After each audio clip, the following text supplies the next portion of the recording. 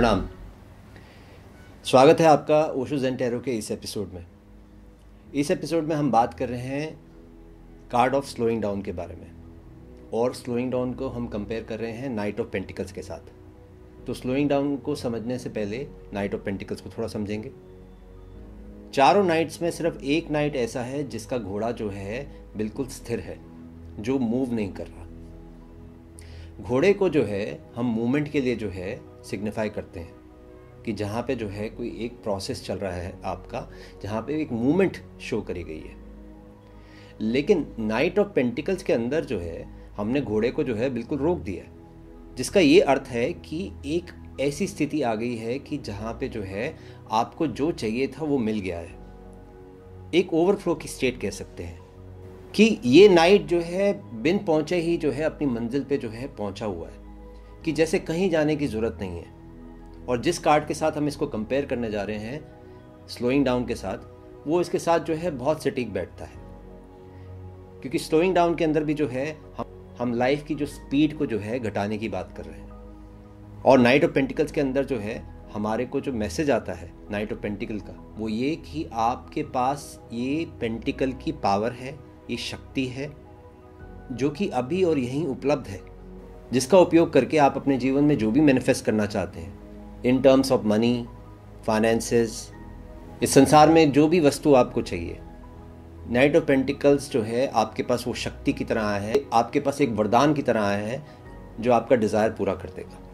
तो ये छोटी सी एक्सप्लेनेशन थी नाइट ऑफ़ पेंटिकल्स की। आइए बात करते हैं card of the slowing down की। कार्ड ऑफ़ स्लोइंग डाउन अपने आप में एक बहुत ब्यूटीफुल कार्ड है। कार्ड का अगर पिक्चोरियल देखें तो पिक्चोरियल है वहाँ पे हमने जो है एक कछुए को दिखाया है। और कछुए का जो सिंबल है, वो सिंबल है लॉन्गिविटी का विजडम का इंटेलिजेंस का और प्रोटेक्शन का। कछुआ अपने आप में एक ऐसा प्राणी है जो अपना घर जो है अपने साथ लेके चलता है। सूफी इसको जो है खाना बदोश बोलते हैं। सूफी कहते हैं कि हम खाना बदोश हैं, हमारा घर जो है हमारे कंधे पर है। तो सबसे पहला मैसेज जो है स्लोइंग डाउन में आता है कि आपका घर आपके भीतर है। कि अपने घर को जो है, बाहर मत खोजना। आपका घर जो है, आप खुद हैं। जब भी आप अपने आप को समेट लेंगे, अपने घर में जो है, वापस चले जाएँगे। और दूसरा मैसेज जो स्लोइंग डाउन में आता है, वो ये कि लाइफ के अंदर जो है, आप भागे जा रहे हैं। कुछ पाने के लिए, कुछ अचीव करने के लिए, जिसके कारण जो है, जीवन को जीना भूल गए हैं। जिस धन को आपने कमाना शुरू किया था, अब उसको कमाने में इतने व्यस्त हो गए हैं कि ये भूल गए हैं कि कमा क्यों रहे हैं। वो चीज़ें जिनके लिए आप पागलों की तरह जो है, भाग रहे हैं उनके लिए। वो चीज़ें जब आपके पास आ भी जाती हैं, उसके बावजूद भी जो है आप रुक नहीं पाते। एक संसार की जो है, एक अंधी दौड़ के अंदर जो है, आप बस भागे चले जा रहे हैं। कार्ड ऑफ़ स्लोइंग डाउन का जो है, सबसे ब्यूटीफुल मैसेज है कि जीवन में जो है, आप अभी और यहीं हो जाएँ। इसी क्षण में। इस क्षण में सब कुछ है। इस क्षण में जो है आपका पूरा होना है। इस क्षण में आपका घर है। इसलिए गुरु ओशो कहते हैं, अपनी लाइफ को जो है थोड़ा स्लो डाउन कर लो। थोड़ा सा देख लो कि क्या हो रहा है तुम्हारे जीवन में। कि क्या घट रहा है तुम्हारे जीवन में। कि क्या मिस कर रहे हो तुम अपने जीवन में। वो कहते हैं, ध्यान ही एकमात्र रास्ता है जिसके कारण जो है कि आपको जो है सही मार्ग मिलेगा। और ध्यान का पर्पस ये है कि ये जो आप भागे जा रहे हैं, ये जो आपकी लाइफ जो है इतनी स्पीड में है ध्यान आपकी ये जो स्पीड को जो है थोड़ा ब्रेक लगाता है और आपको खुद से मिलवाता है। और वो ये भी कहते हैं कि ध्यान के साथ जो है चिपक मत जाना, किसी विधि के साथ चिपक मत जाना, ध्यान की क्वालिटी को समझना। ध्यान की क्वालिटी को जो है अपने जीवन में उतारना। और एक बार ध्यान की क्वालिटी जो है तुम्हारे जीवन में उतर जाए तो उसके बाद अपनी पूरी लाइफ जो है उस क्वालिटी के साथ जो है जोड़ देना। जिसका क्या अर्थ हुआ कि कि ध्यान कुछ ऐसा नहीं है जो आपने एक घंटा कर लिया और बात ख़त्म हो गई। कि सुबह जो है निपटा दिया और बात ख़त्म हो गई।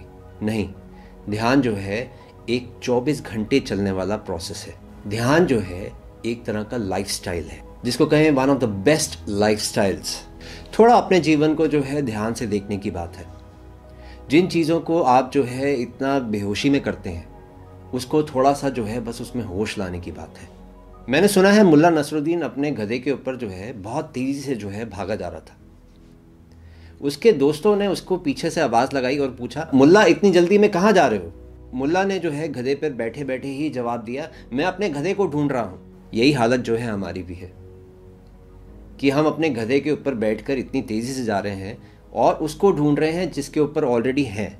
तो ध्यान की क्वालिटी जो है आपके जीवन में जो है उतर जाए। कि आपके हर कार्य में, कि आपके हर होने में, कि आपके हर कृत्य में ध्यान की जो है, एक छाप जो है, बहुत गहरी चले जाए। और जब आप ध्यान के साथ जो है, आप अपने अपने जीवन को जीते हैं, उसमें एक सुंदरता घटनी शुरू होती है। तब हम कहें कि आपके जीवन का जो है, असली फूल खिलना शुरू होता है। कि फिर जब आप खाओ, पियो, सो, कुछ भी करो, वो ऐसा हो जाए कृत्य कि वो आप जो है, प्रभु को भोग लगा रहे हैं। कि इसको जो है, इतना प्रेम दे दो, इतना प्रेम दे दो, कि आप इस क्षण को जो है, अच्छे से देख पाओ। इसकी ब्यूटी देख पाओ, इसका गिफ्ट देख पाओ कि ये आपको क्या देना चाहता है। अनजाने में जीते आए इतना कि सजगता अब लगे भारी। प्रेम में भी जलन हो जाती, जब हो बेख्याली से यारी। दोस्त बनाकर दुश्मनी को चुना, धन कमाया सुख के लिए, पर पैसा आया हाथों में तो चिंता संग खुशी भी छूटी पीछे। सत्ता और शौहरत की दौड़ में, नाम कमाया क्या मिला अंत में? नाम तो सब जाने, पर सुख कहाँ? शक्ति हाथ आई इस्तेमाल किस पे करें? अचेतन मन से सब कड़वा हो जाता। हर बात में जहर, हर रंग फीका पड़ जाता। जागरूक बन, तोड़ ये चक्र। सजग होकर ही तो समझ में आएगा सुख। धीरे चल, सजगता से जी। बुद्ध का दिया ज्ञान यही। तो आप अपने जीवन को इतने बेहोशी में जी रहे हैं कि जब तक कि आप जो है इस मूवमेंट में नहीं आएँगे, जब तक कि आप एक कॉन्शियस स्टेट में नहीं आएँगे, तब तक जो है जीवन में अंधेरा रहेगा। जीवन जो आपको दौलत देना चाहती है, वो तब तक नहीं दे पाती। तो आप भाग दौड़ करके जो है बहुत कुछ जो है अपने जीवन में इकट्ठा कर लेते हैं। लेकिन आप उसको जीते कब हैं? ये सवाल आपको अपने आप से पूछना है कि क्या आप अपने जीवन को जो है ठीक से जी पा रहे हैं? कि जिन चीज़ों के लिए आप भागते थे, वो अब जो मिल गई हैं आपको, क्या आप उसको अब अप्रिशिएट कर सकते हैं? तो जब तक कि आपने जीवन का पुराना पैटर्न नहीं तोड़ना शुरू करते जब तक कि आपके अंदर वो जो एक ऑटोमाइजेशन है, जब तक आपके अंदर एक, वो जो एक रोबोट जो बैठा हुआ जिस तरह से चीज़ें कर रहा है, जब तक कि वो स्लो डाउन नहीं हो जाता, जब तक कि वो आपके कंट्रोल में नहीं आ जाता, तब तक जो है जीवन जो है अंधेरे में रहेगा। और छोटी छोटी चीज़ें जो हैं, आपको जो है कॉन्शियसनेस के साथ जोड़ सकती हैं, अपने जागरण के साथ जोड़ सकती हैं। जैसे कि आप, हो सकता है, धूम्रपान के साथ बहुत ज़्यादा जुड़े हों। और एक दिन में जो है बहुत सारी सिगरेट पी जाते हों। तो ऐसा बड़ा डिफ़िकल्ट होगा कि आप जो है आज के दिन ही जो है उस स्मोकिंग को जो है क्विट कर दें। लेकिन एटलीस्ट ये है कि आप उस प्रोसेस को थोड़ा सा जागरण के साथ करना शुरू करें।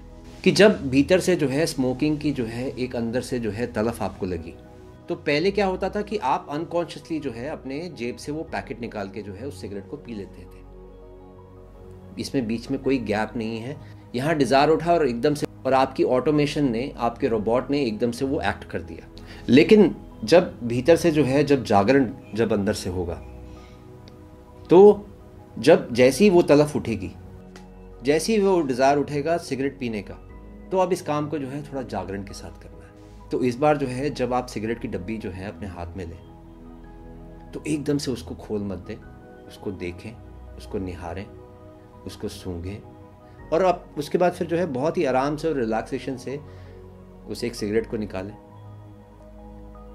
और अपने मुँह में लगाएँ और फिर जो है जलाएँ।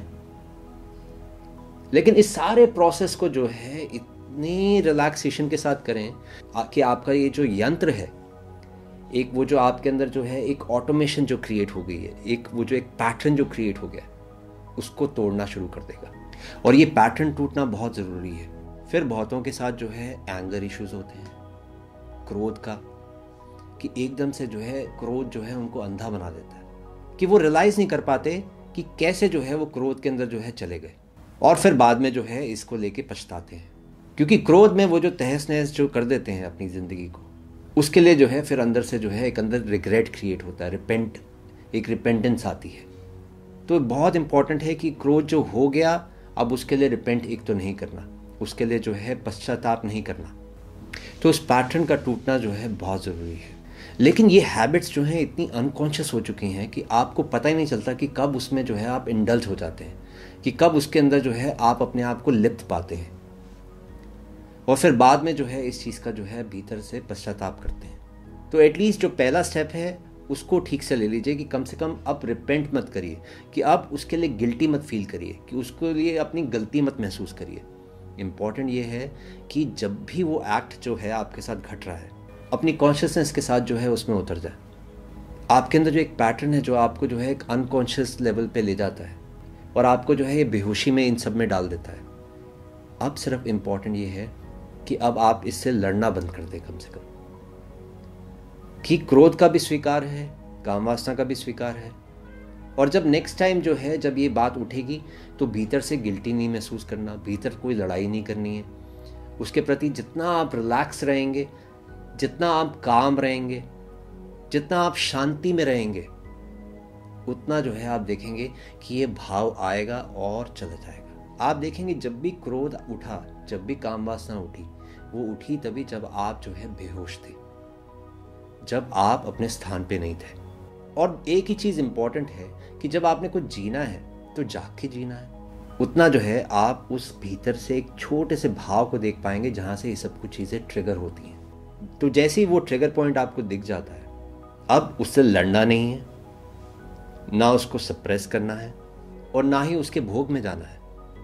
इंपॉर्टेंट यह है कि उसको सिंपली जो है, एक बहुत रिलैक्स वे से उसको देखना है। आप देखेंगे कि एक ऊर्जा उठी है अब आपका जो अनकॉन्शियस पैटर्न है, उस ऊर्जा को खर्च कर देना चाहता है।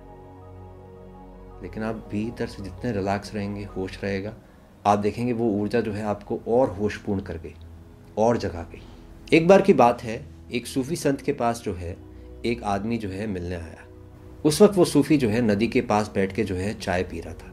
उस आदमी ने कहा कि मैं लाइफ में जो है और आगे कैसे बढ़ सकता हूँ, और पैसा कैसे कमा सकता हूँ? और पॉपुलर कैसे हो सकता हूँ? सूफी ने जो है उसको जो है एक खाली कप उसके हाथ में दिया और उसमें जो है चाय ढालना शुरू करा। और वो ढालते रहे ढालते रहे और वो इतना डाल दिया कि चाय जो है उसमें से बाहर आने लग गई।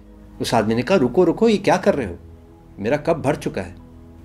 तो सूफी ने कहा एग्जैक्टली exactly, तुम्हारा कप जो है भर चुका है। तुम्हारी ज़िंदगी में तुमने अपने आप को इतना भर लिया है तुमने अपनी लाइफ को इतना फास्ट कर लिया है, इतना स्पीड कर लिया है कि अब तुम्हें जो है स्लो डाउन करने की ज़रूरत है। अब इसमें और मत भरो। अब इसको जो है थोड़ा स्लो डाउन कर लो। और यही मैसेज जो है आपके लिए भी है कि अपनी लाइफ को जो है जितना स्लो डाउन कर सकें, जितना उस कछुए की तरह जो है अपनी ज़िंदगी को जी पाए, आप अपने जीवन को एक बहुत सुंदर ढंग से जी पाएँगे। और जीवन का ये जो गिफ्ट है, उसको जी पाएँगे। तो इस वीडियो का मैं यही अंत करता हूँ। Thank you so much for watching प्रणाम।